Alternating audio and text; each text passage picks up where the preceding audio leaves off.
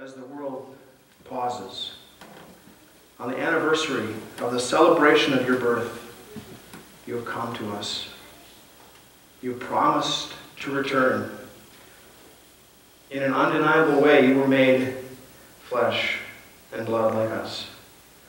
And so let us come to the manger this day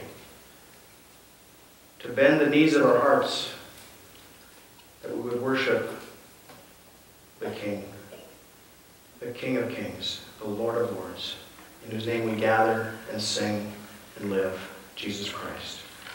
Amen.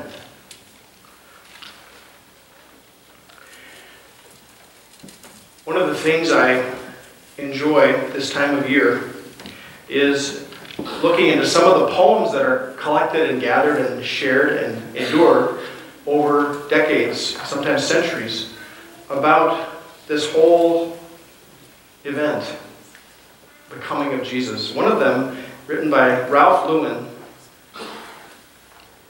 puts it this way, talking about no room for Mary and Joseph.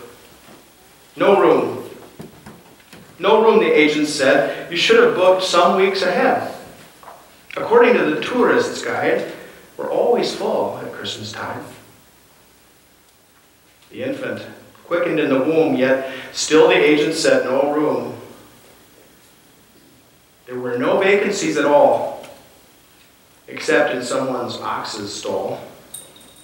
And there, foretold and yet forlorn, the Savior of the world was born. For there was shelter, after all, in someone's humble ox's stall. The oxen left some fragrant hay, whereupon the Virgin Mother lay, and it was really God for whom the beasts had made a little room.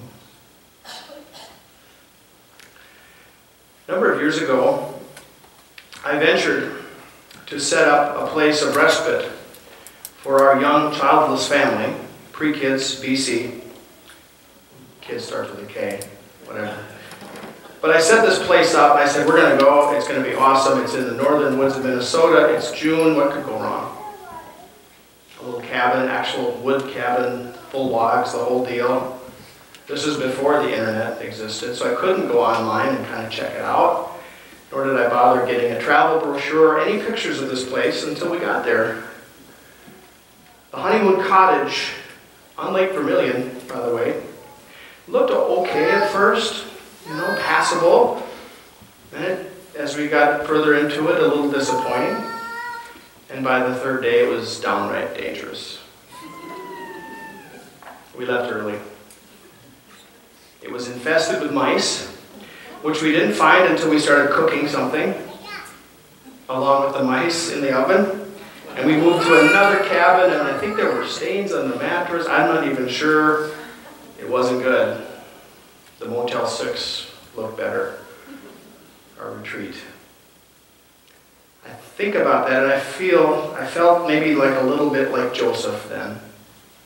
Not real good at providing or at least feeling like a failure in that sense with his beloved Mary, his pregnant fiancee Mary, settling for a stable out back to give birth to her only, her firstborn, there, the son, that they had by the Holy Spirit. Joseph, the righteous and upstanding follower of God, chosen for this mission. I wonder how he felt. You ever thought about him?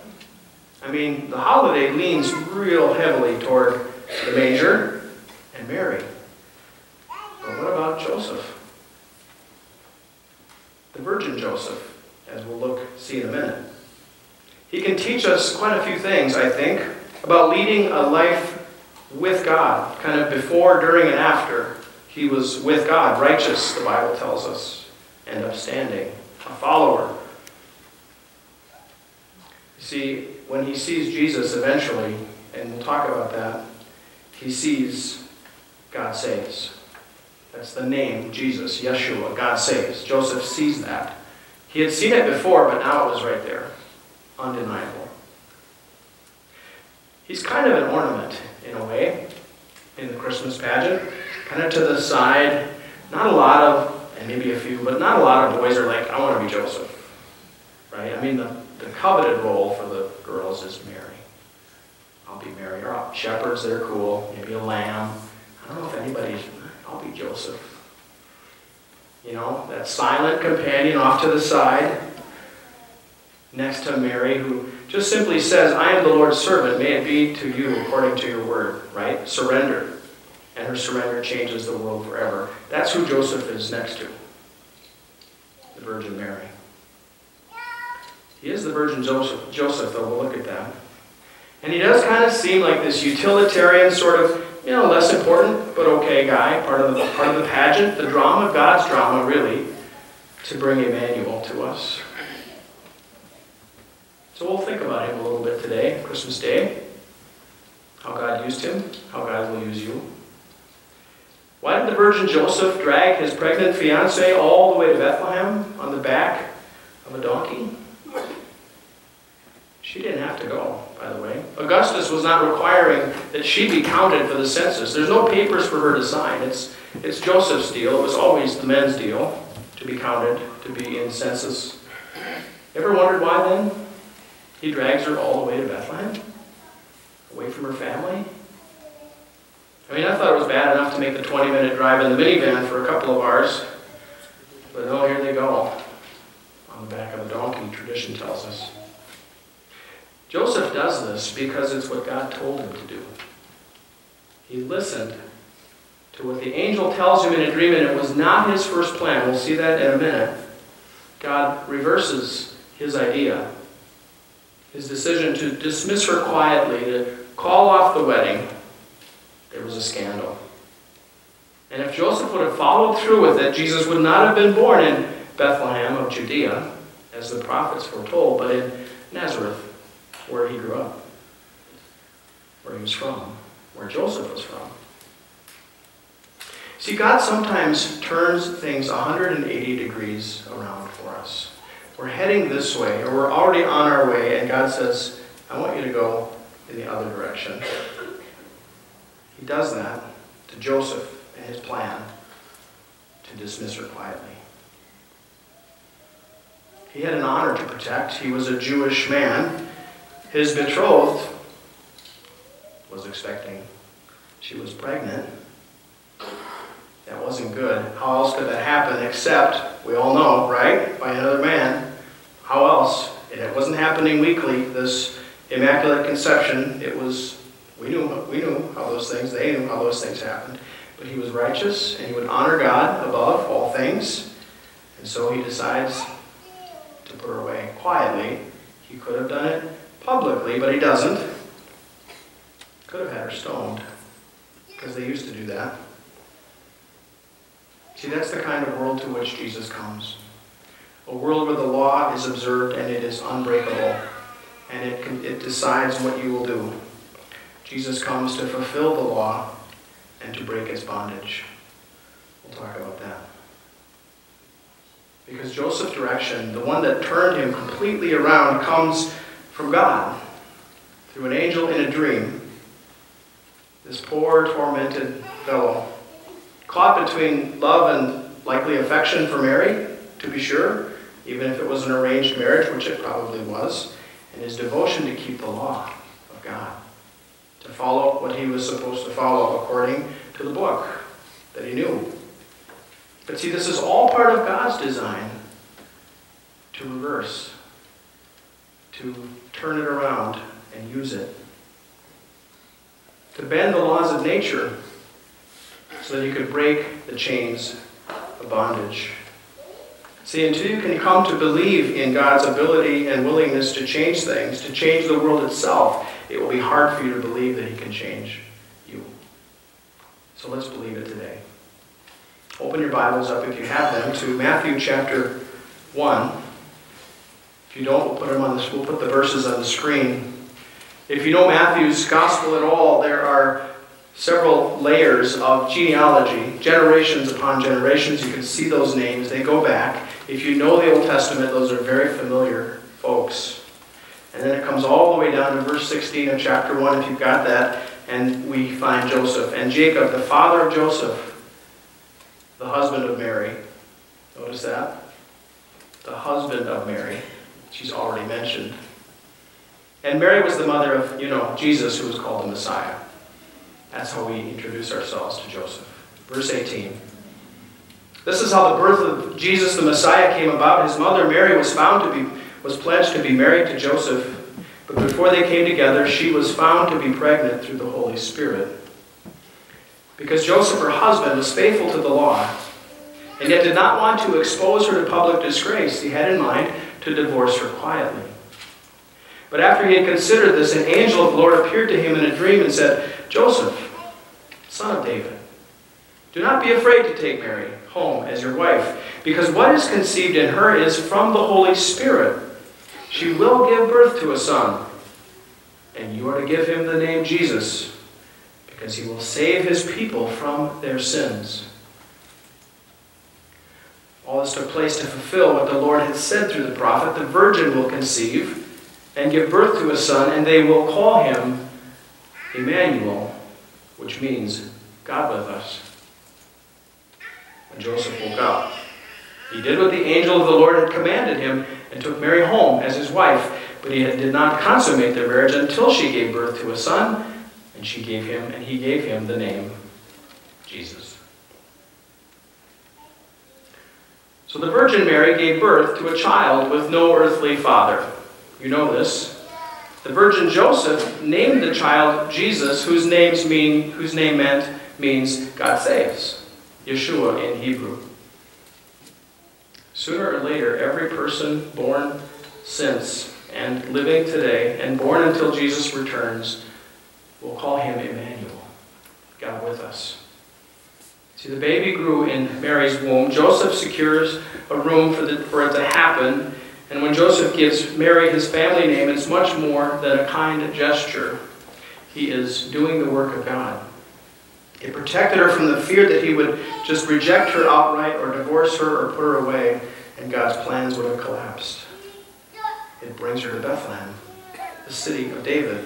It made Jesus more than a baby born to a virgin, and that was enough.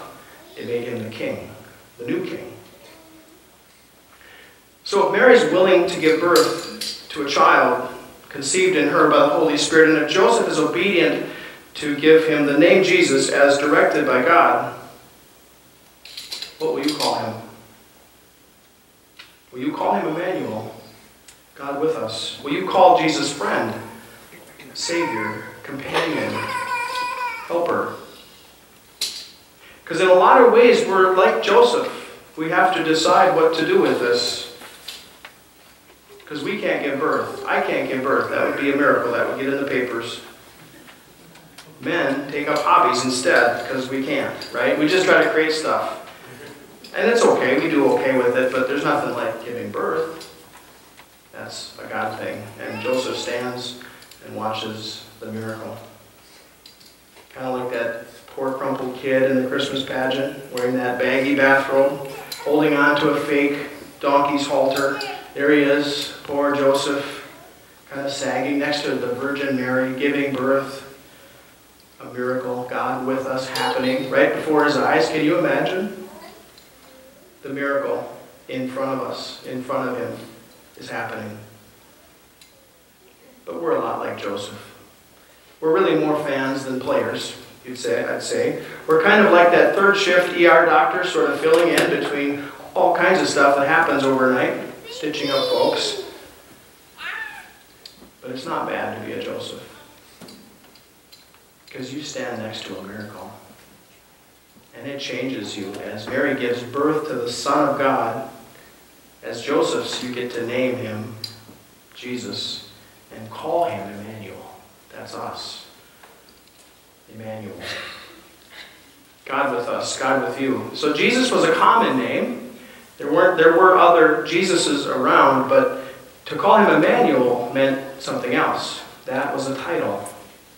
And if you look at the prophecy in Isaiah, if you go back to chapter 7, verse 14, which Matthew picks up, it's interesting that Matthew records it by saying, They shall call him Emmanuel. In, originally in Isaiah, it doesn't say they. He changes the singular to the plural. Big deal. Actually, it is. You can't be a Christian by yourself. There is no such thing as a solitary Christian. That's how the prophecy, they will, he will be called Emmanuel, turns into they will call him Emmanuel. The first they is Joseph and Mary. The rest of the they, you and I, that's us. And every child born until he comes back, we will call him Emmanuel. Even those who may not believe in him will call him God with us when he comes back. It includes everyone. Today, Christmas Day, when the world actually stops and there's something happening. The Christians gather and they sing and they call him Emmanuel, and it makes a difference. Believing that God has acted through this humble couple by their obedience a couple of millennia ago. We still talk about it today. It wasn't a big event per se. Okay, the birth of a child in a place far away. A no-name place called Bethlehem. Yep, whatever. It's a big deal though. Changed the world, didn't it? Did it change you? Because I'm here to declare for you on this Christmas day that God will not forget anyone who calls him Emmanuel. God with us. Truth of Christmas Day is this God is with you. God is with you not just today on a dressed up, beautiful day in church with all kinds of poinsettias and a Christmas tree and maybe a nice meal today. He's with you everywhere you go, wherever you find yourself, physically, spiritually, mentally, financially. He is there with you. Someone put it this way when it comes down to it, we're probably less concerned about the fact that God is everywhere, which God is, and more with the fact that knowing that God is where I am, where you are. In the situations you find yourself, he said it's less important that God can be accessed from anywhere, though that's true, kind of 911, where you at, God? And the fact that God can be found where you laugh and cry and whimper and whine and giggle and shout and sing, where you slumber, where you rage and rant. That's where God is. Where you pray.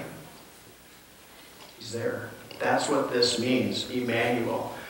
His common name, Jesus, yep, that's right. His symbolic name, Emmanuel, God with you, inside, pervasive, undeniable, tangible, tasteable in Holy Communion the day after tomorrow, right here. If he doesn't come back tomorrow, taste him, come back.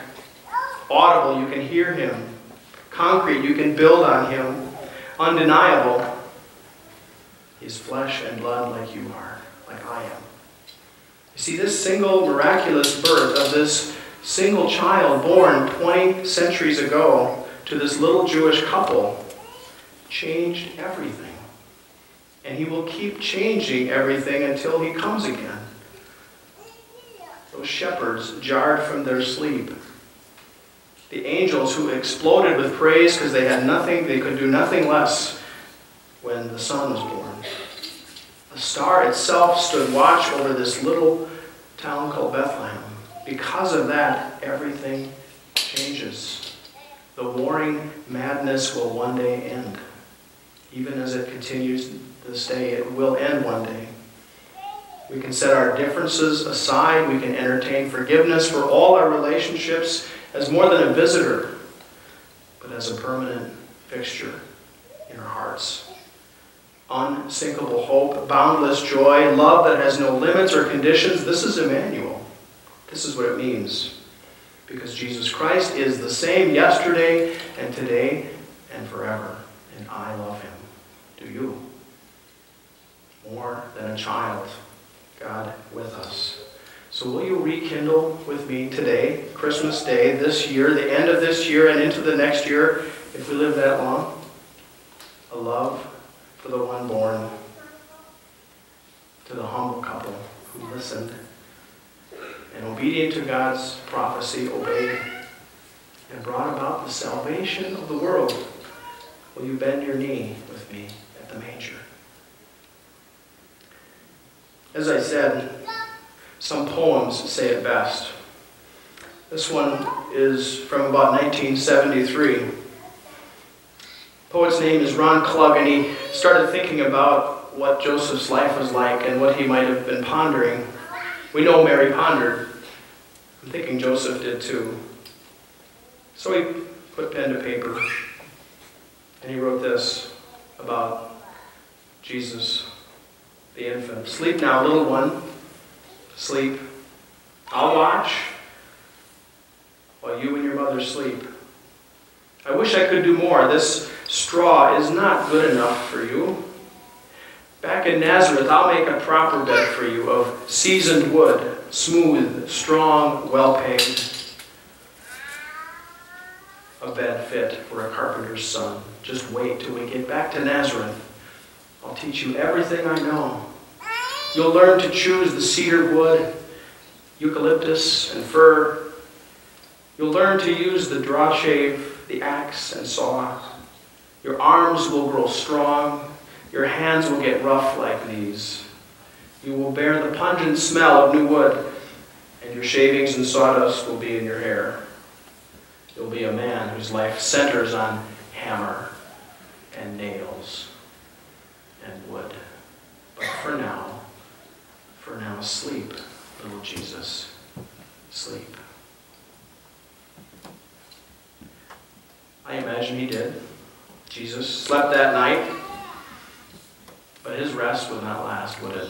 He had a singular mission, not far removed from the tools of Joseph's trade nails and wood and a hammer that would be used not to build at the end of his life, his earthly life, a crib or a table, but a kingdom established by the cross. The promise of new heaven and a new earth, a cradle for our hearts, that we would slumber securely forever and one day wake to the glory of God and see the face of Jesus before us. That's what Jesus was building with his very life. My favorite verse for Christmas I'll share with you as we close is not from Luke or Matthew or Isaiah. But 2 Corinthians chapter 4, verse 6. For God who said, Let light shine out of darkness, made his light shine in our hearts to give us the light of the knowledge of God's glory, displayed in the face of Christ. As the world stops today, as you put your world on pause to see the face of Christ, to welcome forgiveness and hope and contentment and joy into every crevice of your life so that your hearts would not be troubled, that you would believe in God, that you would believe also in Jesus. I invite you again to bow at the manger, confident that your life is purchased and paid for at the cross. And rise with us to serve Him the rest of your days to join in this carpenter's son's work to build a kingdom on the firm foundation of obedience to God, grounded in truth. Because it will cost you nothing more than your entire life, which isn't yours in the first place, by the way. Because even the grace of God does mean we get a free pass, but the mercy of God compels us that if we truly believe in Jesus, if we follow Him and give Him our entire hearts, we have nothing to lose and the entire kingdom of God to gain. And none of us will be able to resist his boundless love. Merry Christmas.